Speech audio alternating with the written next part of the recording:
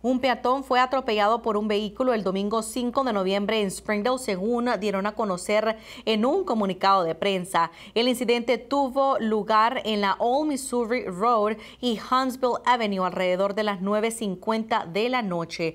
Las autoridades dicen que el conductor declaró que golpeó a un hombre que cruzó la calle corriendo frente a él.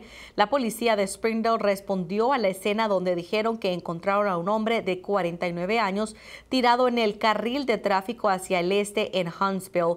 Aunque fue llevado a un hospital local, la policía dice que el hombre no sufrió lesiones que pongan en riesgo su vida.